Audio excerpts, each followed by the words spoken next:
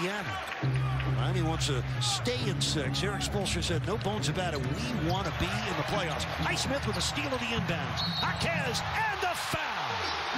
The road is for Miami, and they continue in the 2-2-1 full-court press. Cam Payne picking up 2,000 in a row. He slipped out of bounds. That's another turnover on Philadelphia. The Angel has more.